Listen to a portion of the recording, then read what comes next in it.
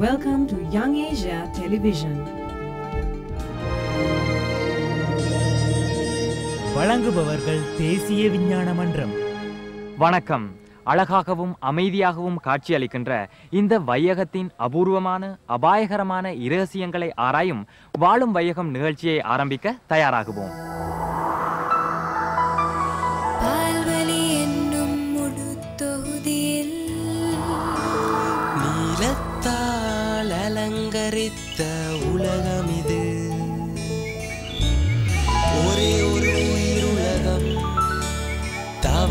நம்மால் உயிர்த்த உலகம் நமக்காகவே.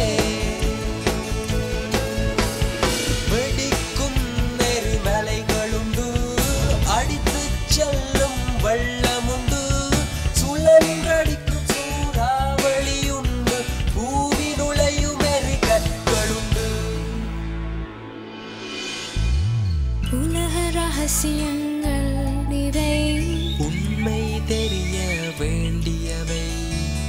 இயற்கையின் நியதிகள் என்ற மட்டும் தெரிந்து கொள்வோம் இதை. வாழும் வையகம். எமது நாடு உஷ்ண காலநிலையை கொண்ட ஒரு நாடு. இதனால் வருடம் பூராகவும் எமக்கு வெளிச்சமும் வெப்பமும் தாராளமாக கிடைக்கின்றது. குறிப்பாக இந்த வெயில் காலங்களில் மழை பெய்யும் போது நாம் காலநிலை மாறியுள்ளது என கூறும் வழக்கத்தை கொண்டிருக்கின்றோம். அதேபோல விவசாயிகளும் இந்த மழைக்காலங்களை நம்பியே தமது விவசாயத்தில் ஈடுபடுகின்றனர். அதே நேரத்தில் இலங்கையின் ஒரு பகுதியில் மழை பெய்கின்ற அதே நேரம் இன்னொரு பகுதியில் கோடை நிலவுகின்றது. உலகத்தின் ஒரு பகுதி பனிப்பிரதேசமாக காணப்படுகின்ற அதேவேளை இன்னொரு பகுதி பாலை நிலமாகவும் காணப்படுகின்றது. இது மிகவும் விந்தையானது விசித்திரமானது. ஆகவே அடுத்ததாக இது குறித்து சற்று ஆராய்ந்து பார்க்கலாம்.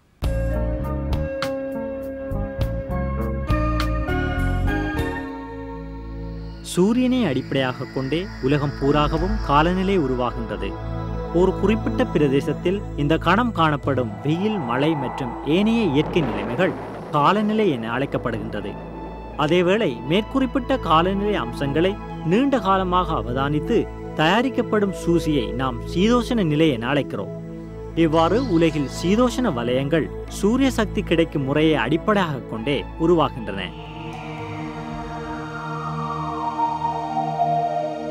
பூமத்திய ரேகைக்கு அண்மையில் சூரியனின் சக்தி அதிகமாக காணப்படுகிறது. சாதாரணமாக கூடிய இடத்திலிருந்து குறைந்த இடத்தை நோக்கி சக்தி பரவும் இயல்புடையது. ஆகவே துருவங்களை நோக்கி சக்தி தொடர்ச்சியாக கடத்தப்படுகிறது. இந்த சக்தியுடன் நீராவி கொண்ட வழியும் மேல் நோக்கி பயணிக்கிறது. இவ்வாறு பயணிக்கின்ற சக்தியானது முப்பது பாகை எல்லையை அடையும் போது மீண்டும் கீழ்நோக்கி இறங்குகிறது. மீண்டும் அறுபது பாகை எல்லையை இது எட்டும் போது மேல் நோக்கி எழும் இந்த சக்தி சக்கரம் மீண்டும் கீழ் நோக்கி இறங்குகிறது இவ்வாறு நீராவி மேலெழுகின்ற ரேகைக்கு அண்மையில் காணப்படுகின்ற பிரதேசம் மழை வீழ்ச்சி கொண்ட பிரதேசமாகவும் கீழ் இறங்குகின்ற ரேகைக்கு அண்மையில் உள்ள பிரதேசம் பாலை நிலங்களாகவும் காணப்படுகின்றன තුරු සහ දක්- අ, දකුණු අර්ධ අ, ද්‍රව ආසන්නයනකොට අපි දන්නවා කාලයකට සීත කාලයක් සහ අ, තවත් කාලෙක උෂ්ණ කාලයක් අ, දක්නට ලැබෙනවා.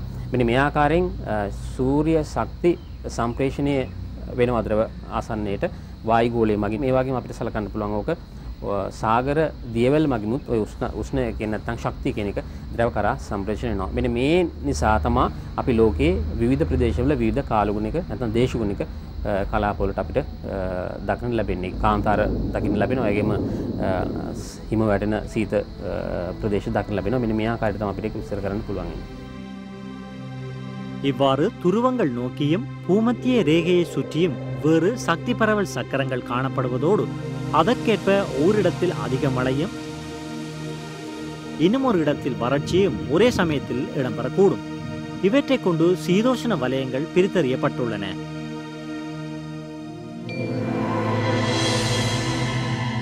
காலநிலை பற்றியும் சீதோஷண நிலை பற்றியும் வெவ்வேறுபட்ட வலயங்கள் குறித்தும் ஒரு சிறந்த விளக்கம் உங்களுக்கு கிடைத்திருக்கும் என நினைக்கின்றேன். நல்லது. இன்றைய நிகழ்ச்சியின் முன்னோட்டத்தை இப்போது பார்க்கலாம். குறைந்தாலும் கூடினாலும் தொல்லை தரும் மழை. மழையின் பிறப்பு. வெள்ளப்பெருக்கின் கதை. வரலாற்று சம்பவங்கள். மழை கூடுதலாக பொழியும் போதும் துயரம் மழை இல்லாத போதும் துயரம். எனினும் மழை கூடுதலாக பொழியும் போது பிரச்சனைகள் அதிகமும் அபாயமும் அடைந்து விடுகின்றன. மழை கூடுதலாக பொழிவதனால் ஏற்படும் வெள்ளப்பெருக்கினால் நாம் பல இன்னல்களுக்கு முகம் கொடுக்கின்றோம். ஆகவே இது குறித்தும் இப்போது சற்று ஆராய்ந்து பார்க்கலாம்.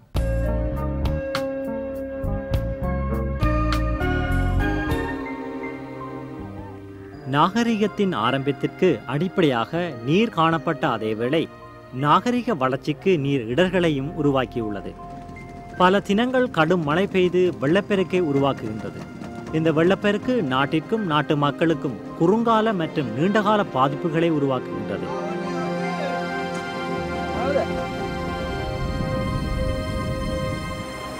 குறிப்பாக பல்வேறுபட்ட மனித நடவடிக்கைகள் காரணமாக உருவாகுகின்ற வெள்ளப்பெருக்குகளை எம்மால் தவித்துக் கொள்ள முடியும் என்பதால் அது குறித்து நாம் கவனம் செலுத்துவது அவசியமாகும். அந்த அன்ன காலேஜ் இல்லாமல் பொடி வசக்காவது மிக යට වෙන සාමාන්‍යය මේක සාමාන්‍ය දැන් හැම වස්සකටම වගේ ටක් ගාලා ඉක්මනට යට වෙනවා. ඒක උඩ වැහික වැහි කාලේ තමයි මේක ඩියටක් ගඟ යට උතුරන්නේ. ඇල්ල උඩ දැන් ගෙවල් හදලා තියෙන්නේ. ඇලමාර්ගය ගස් පැටිලා ඒ උඩි ගෙවල් හදලා පටු වෙලා තියෙන මිනිස්සුන්ට ඉතින් ඉන්න තැන නැති නිසා තමයි මේ මිනිස්සු මේ වගේ පදිංචිලා ඉන්නේ. කානු පද්ධතිය සුද්ධ කරාන ඔය කිසි ප්‍රශ්නයක් නැහැ අනිවාර්යයෙන්ම මේ ඇල නැවත විවෘත කරලා දෙන්න ඕන. ඒව සුද්ධ වායිත කළ ඒවා හැදුවනම් මේක මෙහෙම වෙන්නේ නැහැ පුළුවන් මිනිස්සු නම් පස් පුරවල ගෙවල් උඩට හදලා තියෙනවා යන්න එන්න තැන නැති නිසා තමයි මෙතන ඇවිල්ලා තා- තාවකාලික අටවගෙන ඉන්නේ ඉතින්. ස්පාත් කියලා වේද යන්නේ නැහැ පාර යන්න බෑගොල්ලෝ පාර උස්සන්න අපිට බෑනේ கடும் மழை பெய்யாவிட்டால் தாகத்துடன் மிகுந்த பாதிப்பினை அனுபவிக்கும் இவர்கள் நீர் கிடைக்கும் ஒரு இடத்தை தேடி பயணிக்கிறார்கள் இவர்களது பிரதான ஜீவனோபாயமான விவசாயத்திற்கு நீர் தேவைப்படுகின்ற அதேவேளை குடிநீர் தேடுவதற்கும் இவர்கள் மிகுந்த கஷ்டங்களை எதிர்நோக்குகின்றனர். இவ்வாறு வறட்சியையும் வெள்ளப்பெருக்கையும் தீர்மானிப்பது மழை கூடுவதையும் குறைவதையும் தீர்மானிக்கின்றது.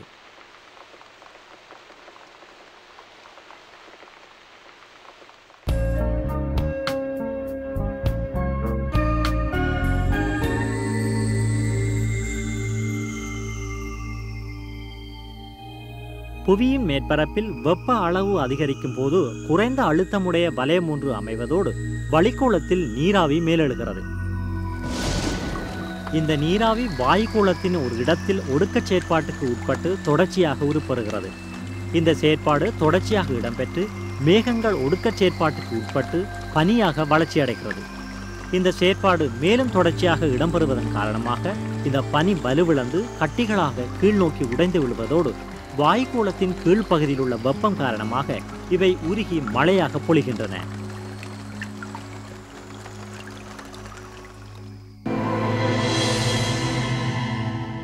அவ்வப்போது மழை பெய்வதனால் வெள்ளப்பெருக்கு ஏற்படுவதில்லை. ஆனால் தொடர்ந்து கடும் மழை பெய்யுமாயின் வெள்ளப்பெருக்கு ஏற்படுகின்றது. ஆகவே அதிகம் மழை பெய்வதனால் மட்டும் ஏன் வெள்ளப்பெருக்கு ஏற்படுகின்றது? அதற்கு முன்னர் இந்த மழை எவ்வாறு உருவாகின்றது என்பதை தேடி பார்க்கலாம்.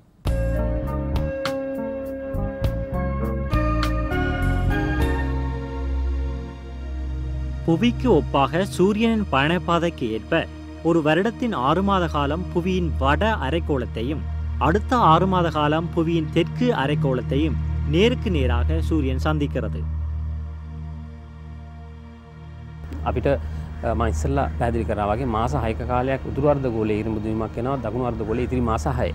එතකොට අපි ඊටමත් පැහැදිලිව තේරුම් ගන්න පුළුවන් ශක්තිය එකැන ශූරය ශක්තිය ලැබෙනවා උතුර අර්ධකෝට මාස හයක් දකුණු අර්ධකෝට සාපේක්ෂව. ඒවගේම දකුණු අර්ධකෝරයට මාස හයක කාලසිමාවක් රාපේන සූර ශක්තිය ලැබෙනවා උතුර අර්ධකොට සාපේක්ෂ මෙන මේ සාපේක්ෂව උෂ්ණත්ව නැත්තං තාපේ ලැබීමේ ශූරි ශක්ති ලැබීමේ හේතුව නිසා ලංකාව හරහා ගත්තොත්තේම සුළං රටා කිහිපයක් ප්‍රධාන වසයෙන් දෙකක් නිර්මාණ වෙනවා.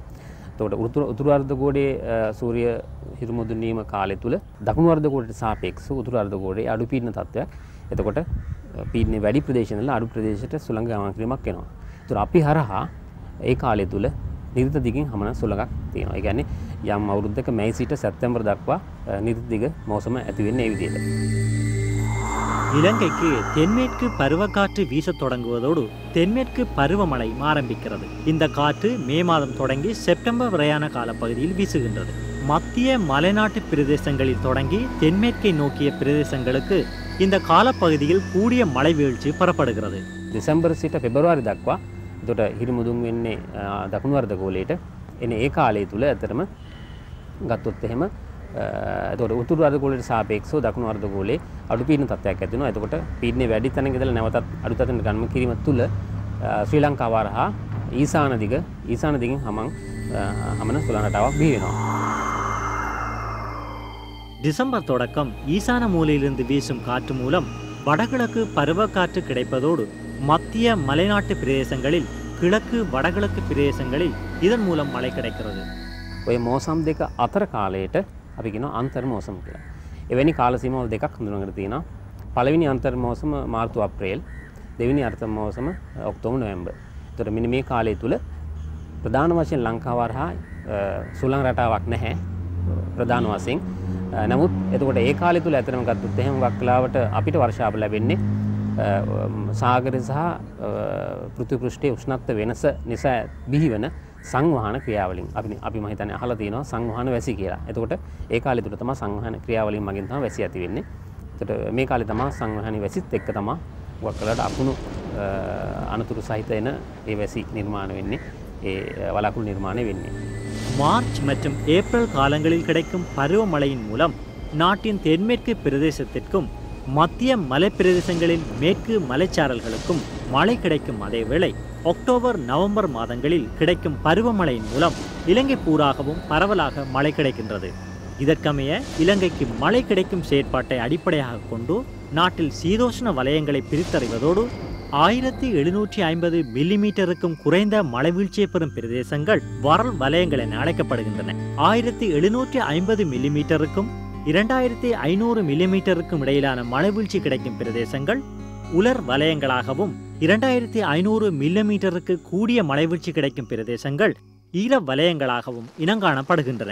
பருவத்தின் ஆரம்பத்தில் கிடைக்கின்ற அதிக மலைவீழ்ச்சி வெள்ளப்பெருக்கு அபாயத்தை ஏற்படுத்துவதோடு மலைவீழ்ச்சியின் நிலையற்ற தன்மை காரணமாக சில பிரதேசங்களில் வறட்சி நிலைமையும் ஏற்படுகிறது. ஆகவே வெள்ளப்பெருக்கையும் வறட்சியையும் தீர்மானிப்பது மலைவீழ்ச்சி கூடுவதும் குறைவதுமே. ஆகவே கடும் மழை பொழிகின்ற போது வெள்ளப்பெருக்கு அபாயம் ஏற்படுகின்றது என்பதை நாம் அறிவோம். ஆனால் இந்த மழை தொடர்ந்து பொழிய வேண்டும். அத்தோடு இது கடும் மழையாகவும் காணப்பட வேண்டும். ஆகவே இவ்வாறு மழை பொழிகின்ற போது எவ்வாறு வெள்ளப்பெருக்கு ஏற்படுகின்றது என்பதை இப்போது தேடி பார்க்கலாம்.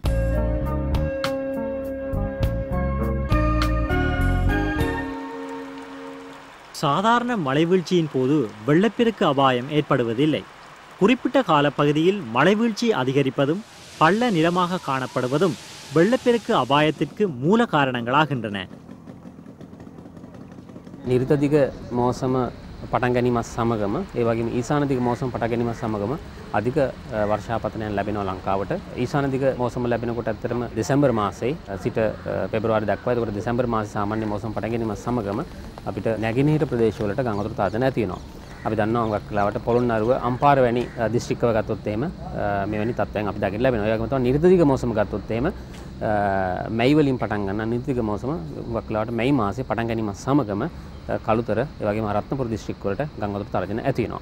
එතකොට මීට අමතරව සඳහන් කරු දෙයක් තමයි අපිට ගං වතුර තරජන ලැබෙනවා විශාල වර්ෂාපතනයකින් ලැබෙනවා හුඟක් වෙලාවට තුරුසුලං ආශ්‍රිත අ, හේතු නිසා. අපි ගොත් එහෙම අ, ඔක්තෝබර් නොවැම්බර් සහ දෙසැම්බර් මාස සාමාන්‍යයෙන් ලංකාවට සුළුසුළං වලින් බලපෑම් අ, ලැබෙන කාලවල් විශේෂයෙන්ම බෙන්ගාල් බොක්ක ආශ්‍රිත ප්‍රදේශවල අ, සුළුසුළං ඒ වගේම වායු අඩු පීඩන තත්ත්වයන් වර්ධනය වෙනවා ඔය ඔක්තෝබර් නොවැම්බර් දෙසැම්බර් එන මෙන්න මේ හේතු නිසා අ, අ, ලංකාවේ විවිධ ප්‍රදේශවලට ගං වතුර තරජන ඇතිවීමේ හැකියාව තියෙනවා.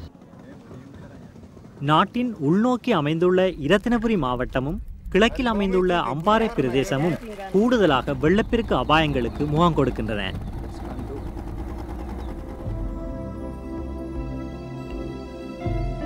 அதிகமாக வெள்ளப்பெருக்கு ஏற்படும் பிரதேசங்கள்.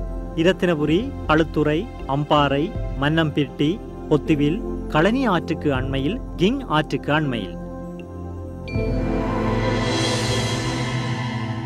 இலங்கையில் வெள்ளப்பெருக்கு அபாயம் ஏற்படக்கூடிய பிரதேசங்களை பற்றி இப்போது நாம் நன்கு அறிவோம். அடுத்ததாக வறட்சி ஏற்படக்கூடிய பிரதேசங்களை ஆராயலாம். විලි කලාපය කියලා අඳුනගත්තේ මිලිමීටර් 1750ට වඩා අඩු අ, වාර්ෂික වර්ෂාපතනයක් ලැබෙන කලාපය. සාමාන්‍යයාගේ එසේ වුවත් යම් යම් හේතු නිසා වර්ෂාපතනය තවත් අඩුනොත් එහෙම ඒක නියග තත්ත්වයට බලපාන්න පුළුවන්.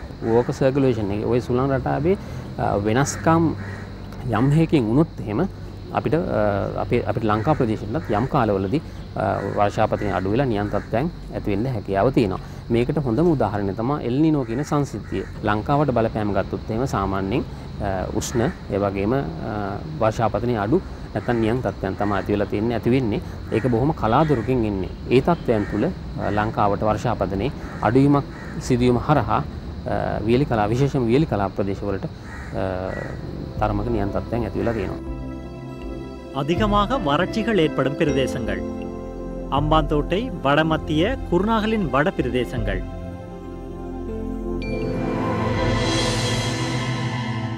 வறட்சிகள் ஏற்படக்கூடிய பிரதேசங்களை இப்போது நாம் இனம் கண்டுள்ளோம். ஆகவே அண்மைய வரலாற்றில் இடம்பெற்ற வெள்ளப்பெருக்குகள் வறட்சிகள் இவற்றில் பாதிப்பு செலுத்திய காரணிகள் ஆகியவை பற்றி தெரிந்து கொள்வதன் மூலம் இது குறித்த ஒரு தெளிவான பார்வையை எம்மால் பெற்றுக்கொள்ள முடியும். ஆகவே அண்மைய வரலாற்றில் இடம்பெற்ற சில சம்பவங்களை இப்போது மீட்டு பார்க்கலாம்.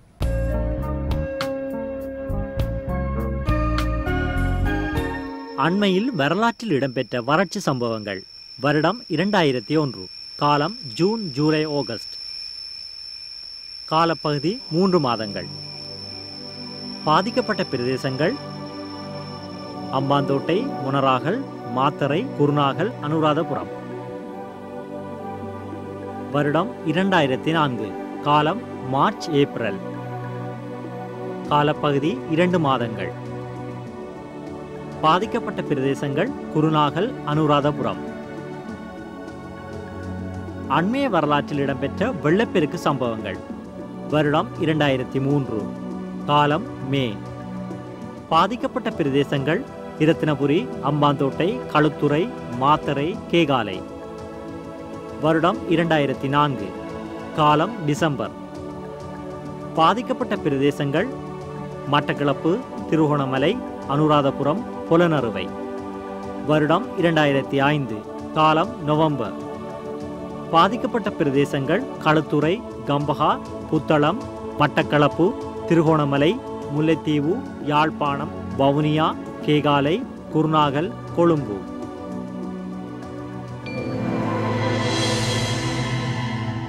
கடந்த காலங்களில் இடம்பெற்ற தொடர்ச்சியான மழை காரணமாக இலங்கையின் பல பகுதிகளில் வெள்ளப்பெருக்கு அபாயம் ஏற்பட்டதை நாம் அறிவோம். அதே நேரம் ஆறுகள் கரை தாண்டுவதன் காரணமாகவும் வெள்ளப்பெருக்கு அபாயம் உருவாகின்றது. ஆகவே இயற்கை காரணிகளால் மட்டும்தான் வெள்ளப்பெருக்கு அபாயம் உருவாகின்றதா? இல்லை மனித நடவடிக்கைகளும் இதில் பெரும் பாதிப்பு செலுத்துகின்றன.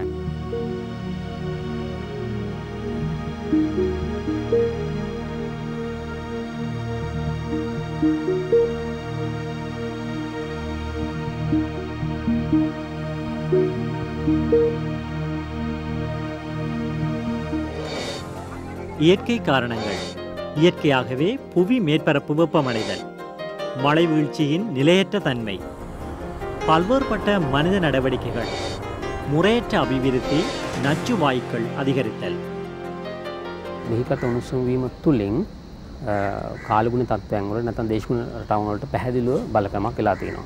එතකොට ඒකට හේතුව ආන්තතික තත්ත්වයන් නැත්නම් නියං තත්ත්වයන් ඒ වගේම අධික වර්ෂාපතන තත්ත්වයන් සුළුසුලන් තත්ත්වයන් ලෝකෙ එන්න එන්න වැඩි වෙමින් පවතිනවා. අපි හිතනවා අපි විශ්වාස කරනවා මේ මේ තත්ත්වය ඇතිලා තියෙන්නේ දේශගුණ පරයාසයත් සමග කියලා.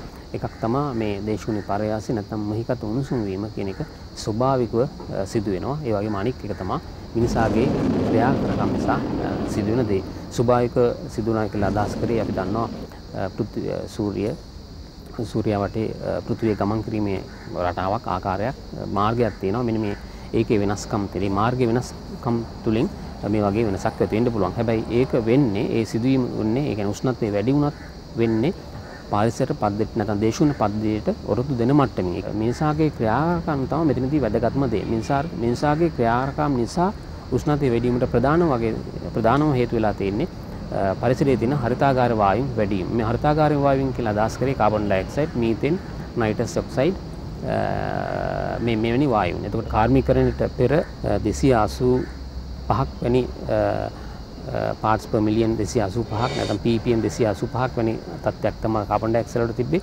අද තත්ත්වය වෙලා තියෙනවා 365ක් වගේ පාර්ට්ස් per million වලින් වැඩි වෙලා තියෙනවා. මෙන්න මේ තත්ත්වය තුල අපිට අතට අපිට කියන්න පුළුවන් කාර්මිකකරණයෙන් පසුව අ, මෙම හරිතාගාරවලින් ඉතා සීක්‍රයෙන් වැඩි වෙලා තියෙනවා කියලා.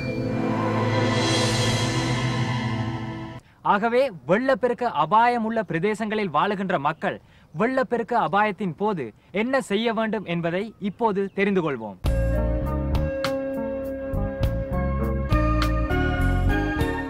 வெள்ளப்பெருக்கு அபாயத்தின் போது எடுக்கப்பட வேண்டிய நடவடிக்கைகள். வெள்ளப்பெருக்கு அபாயத்தின் போது மண் சரிவுகள் இடம்பெறக்கூடிய பிரதேசங்களிலிருந்து உடனடியாக வெளியேற வேண்டும். நீர் மூலம் பரவக்கூடிய தொற்று நோய்களுக்கான அறிகுறிகள் தென்பட்டால் கவனமாக நீர்ப்பாவனையில் ஈடுபட வேண்டும். வெள்ளப்பெருக்கு ஏற்படக்கூடிய பிரதேசங்களிலிருந்து உடனடியாக வெளியேற வேண்டும். வெள்ளப்பெருக்கினால் பாதிக்கப்படக்கூடிய வீடுகளுக்கு ஏற்படக்கூடிய அழிவினை குறைத்துக் கொள்ளும் முகமாக கதவுகளையும் ஜன்னல்களையும் திறந்து வைத்தல். நிரந்தரமாக முதலுதவி பெட்டியொன்றை வைத்திருக்கவும். முதலுதவி பெட்டியில் உள்ளடக்கப்பட வேண்டிய விடயங்கள். மருந்து வகை சிறிய வானொலி பெட்டி டார்ச் லைட் உலர் உணவு යම් ප්‍රදේශ හඳුනාගෙන තියෙනවා. දැනටම කෑකල් දිස්ත්‍රික්ක රත්නපුර දිස්ත්‍රික්ක වැනි ප්‍රදේශවල. මෙවැනි ප්‍රදේශවල ගම් වතුර තර්ජනයක් ඇති වෙනවා නම් දැඩි වර්ෂාපතනයක් සමග අ, විශේෂයෙන් ප්‍රවේශම් විය යුතුයි. දැන් ගම් වතුර තර්ජනයක් අ, එන බව ඒ කියන්නේ අධික වර්ෂාපතනයක් ලැබෙන බව අ, විශේෂයෙන්ම කාලගුණ දෙපාර්තමේන්තුව හරහා අනතුරු නැගීම මේ වගේ නිවේදනයන් නිරන්තරයෙන් නිකුත් කරනවා එවැනි අවස්ථාවකදී.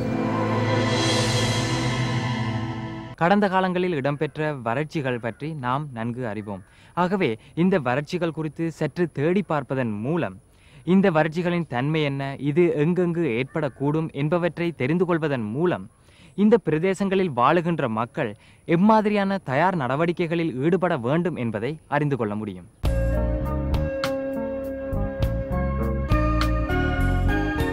வறட்சி அபாயத்தின் போது எடுக்கப்பட வேண்டிய நடவடிக்கைகள். மழை நீரை சேகரித்தல். குறுங்கால பயிற்சிகை குளங்களை அமைத்து நீரை சேகரித்தல். குடிநீர் மூலம் தொற்றுகின்ற நோய்களை பற்றி அறிந்திருத்தல். நல்லது. நிகழ்ச்சியிலிருந்து விடைபெறும் நேரம் நெருங்கிவிட்டது. இன்றைய நிகழ்ச்சியில் வெள்ளப்பெருக்கு குறித்தும் வறட்சிகள் குறித்தும் உங்களுக்கு ஒரு சிறந்த விளக்கம் கிடைத்திருக்கும் என நம்புகின்றேன். மீண்டும் இன்னும் ஒரு வாழும் வையகம் நிகழ்ச்சியில் இன்னும் ஒரு இயற்கை அனர்த்தத்தை பற்றி பேசலாம். அதுவரைக்கும் உங்களுக்கு எனது வாழ்த்துக்கள். வழங்குபவர்கள் தேசிய விஞ்ஞான மன்றம்.